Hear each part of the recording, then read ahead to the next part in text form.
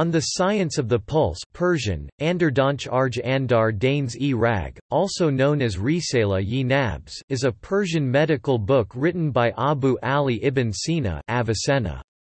It is one of the author's only two books in Persian language.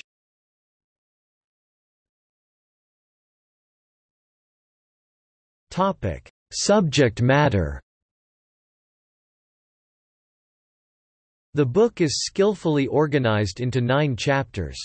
The first three provide a general view of the functions of the human body as prologue to the main subject, being the study of the pulse.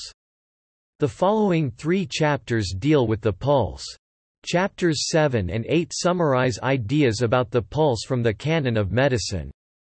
The final chapter closes the book with complementary remarks on the relevant parts in the canon of medicine.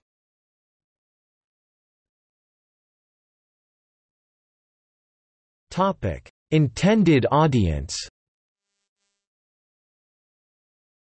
Unlike his Arabic works, Avicenna intended this book for general readership, thus composing it in the vernacular.